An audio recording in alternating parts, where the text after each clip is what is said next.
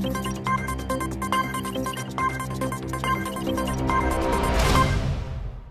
Roland Schoeman, welcome to Bermuda. Thank you. Good to be Obviously, here. your, your career uh, is a well decorated one. Um, give us a sense of what you are trying to accomplish here in Bermuda, especially with the youngsters.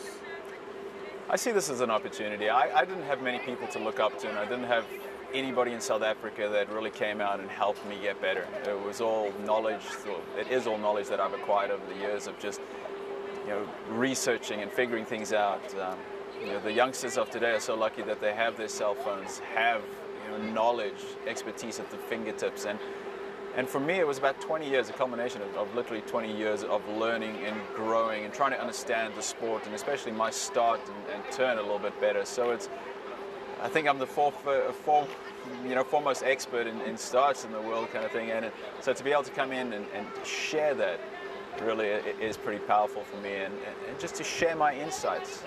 I wish I'd had something like that. So for me, it's important to be able to, you know, in turn do that. And I know a guy like Julian and you know, Roy Burch, and you guys have a history of, of successful swimmers, so why not breed more? Why, why swimming for you?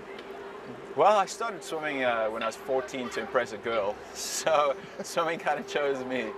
Uh, but it's uh, yeah, swimming has just always been in my blood. It, it's it's a way to you know, just learn, just continue to grow, continue to learn. I feel like there's there's always something I'm trying to figure out, or always a way to get better.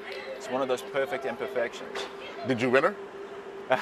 well, we dated for a couple of months. I mean, it was puppy love when you're 14, so you're kind of holding hands, and holding hands is a big, uh, a big deal at that point. Now, obviously, you said swimming wasn't a popular thing in, in South Africa, but what were some of the struggles?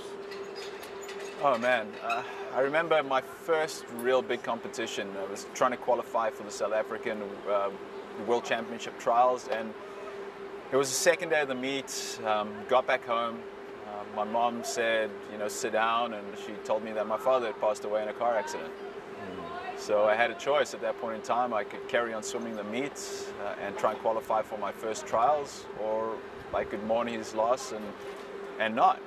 And I knew that if I'd, uh, you know, if I knew if I didn't swim, that that wasn't the right thing to do. So. It, you know, I honored him through my effort. I honored his memory through my effort, and it was important for me to see that. That in spite of you know huge travesty and in spite of something awful happening in my life, I had the ability to to focus and turn that around into something positive. There's there's always a when you when you're one or a few, there's always a struggle of finance, and of course, it's well documented. 2016, um, you were asking for help um, similar to what happens in, in, a small country like Bermuda, where it's not always funded. Um, but but give us a sense now. We look at South Africa as a major, big player in sports. Yep. How how does it struggle with a mm. with a five-time Olympian getting to the Olympics? Oh gosh, you know, there's so many countries that do it right. You see a country like Singapore awarding $750,000 to Joseph Schooling for winning a gold medal they're investing in their athletes. The problem in a country like South Africa is it's so politically inclined. Um, the politicians understand that sport has the ability to unite or divide a nation, and they like to control that. You know, so we don't get the support. Much like your country, I, I understand too. It's you know, our big sports are cricket, soccer, and rugby. And if you are competing in one of those events or, or sports, you, you really make a lot of money. But our Olympic sports, nobody pumps money into it. And then we, we have our Olympic uh, chef de mission and our president standing up and saying, well, we're going to win X amount of gold medals. And, and, creating this image that we, you know, we're all these champions and that we're so well supported. And here the athletes are asking for, for help, just a way to, to prepare. I mean, I think most swimmers and most Olympic athletes aren't expecting millions of dollars a year. $30,000, $40,000, $50,000. That goes a long way to helping an Olympian prepare and just taking care of the basic essentials. So it's, mm. I was never about knowing that I'm going to retire off the sport of swimming. It was better, it was for me. Just help me get to the Olympics. Help me prepare so that I can represent my country to the best of my ability. Now, one thing about Bermuda, we produce a lot of young athletes that do extremely well, but as they get older, it, it's it's choices of work, family, and so forth. But for you, what was your driving force to stay involved in the sport? so I'm stubborn. I'm really stubborn.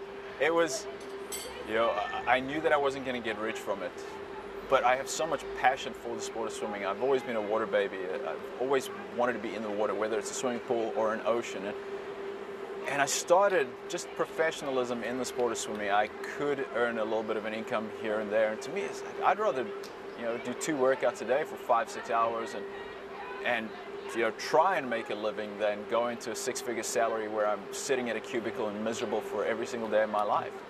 I think the, you know, the problem that a lot of kids face at this point in time is professionalism. You know, they get to the ages of 16, 17, and it's what next? Can I go to the United States on a scholarship? Is my country investing in me? As much as I want to be an Olympic champion, if I can't feed myself, if I can't get massages, everything that's necessary, it just doesn't make sense. So I feel a lot of kids are falling by the wayside because of that reality. What will you most remember about your performances at the Olympics? I, think for me, ultimately, it was that 4x100 freestyle relay at the Athens Olympics. It's three guys that I trained with that entire, well, a couple of years leading into the Olympics. Darian Townsend was South in South Africa, but you know, Ryk Neethling, Lyndon Ferns, and myself, we, we, trained together. We bled, we cried. You know, there was sweat involved. It was we saw each other grow. And then to be able to stand up on a podium, you know, with three brothers hearing your national anthem, first time a South African relay team's ever done that, that was pretty special. That was without a doubt the, the best highlight for me. Well, we want to welcome you to Bermuda. We know you have a, a class very soon, and hopefully some of these kids will feed off of the energy in which you bring and knowledge.